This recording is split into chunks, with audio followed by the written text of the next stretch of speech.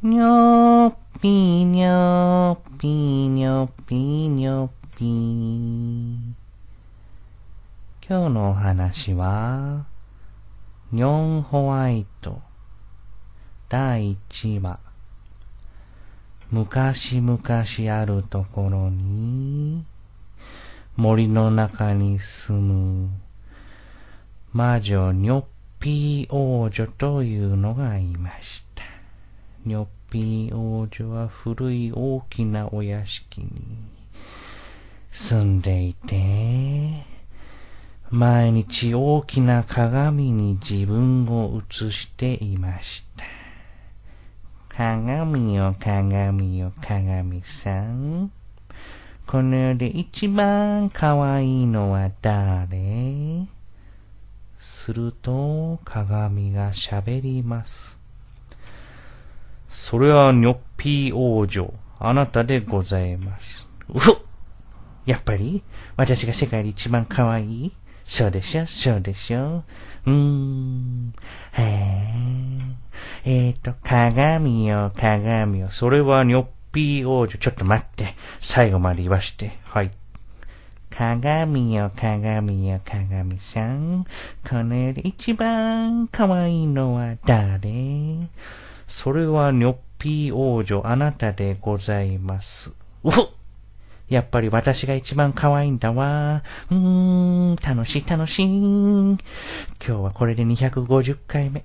あと50回ぐらいできるわ。鏡よ、鏡よ。魔女ニョッピーは毎日そんなことをしていました。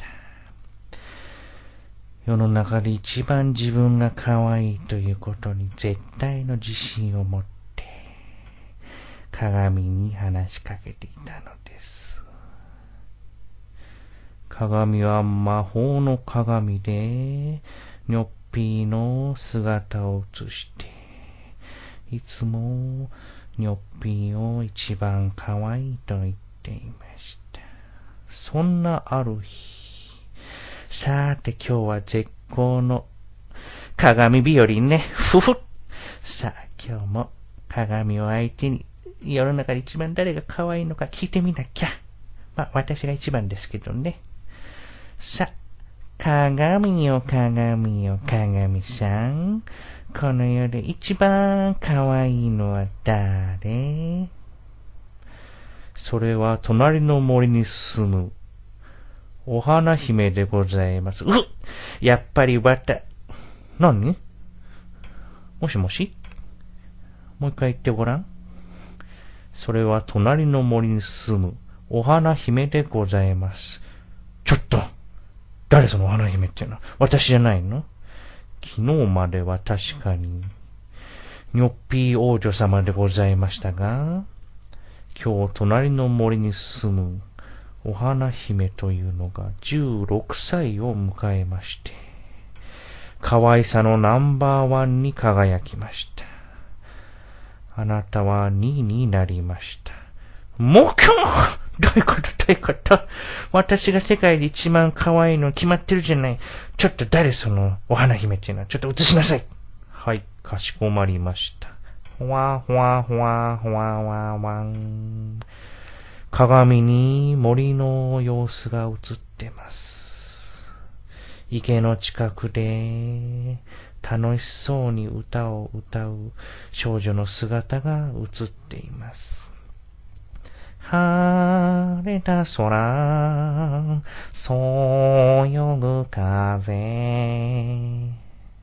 コロコロとした可愛らしい歌声に、肩に止まった小鳥はさえずり、草むらでリスと小ウサギがうっとりとその歌を聴いていました。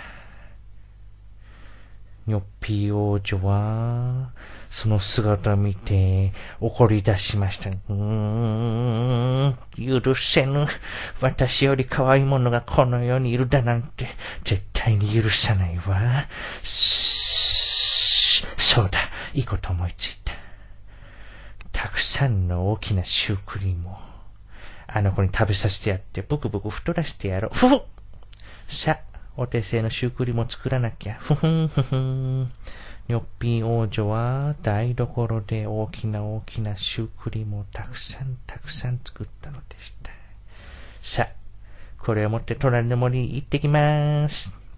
にょにょにょにょにょんととととと、にょにょにょにょにょんとととと、にょにょにょんとととと。晴れた空。そう。ちょっとあなた。はい。あなたはお花姫っていうのはい、そうですけども、どちら様でございましょう。ふん。私は隣の森にするニョッピー。あなたに会いに来たの。そうですか。はじめまして。ふふっ果たして、どうなってしまうのか。